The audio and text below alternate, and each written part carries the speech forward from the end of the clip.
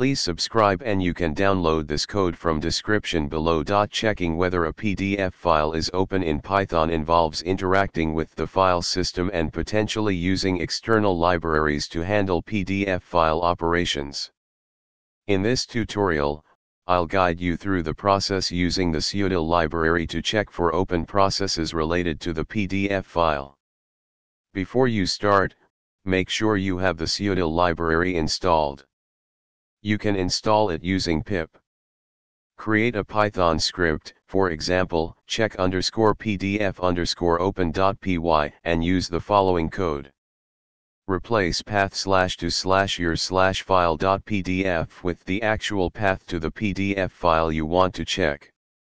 This script defines a function is underscore pdf underscore open that uses psutil to check if any processes are using the specified PDF file.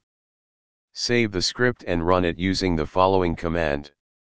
The script will print whether the specified PDF file is open or not. Note, keep in mind that the effectiveness of this method may depend on the operating system and the specific PDF viewer being used. Different viewers may have different process names, so you may need to adapt the script accordingly. Additionally, this approach assumes that the PDF file is being accessed exclusively by a single process at a time. If multiple processes can have the file open simultaneously, you might need a more sophisticated approach. ChatGPT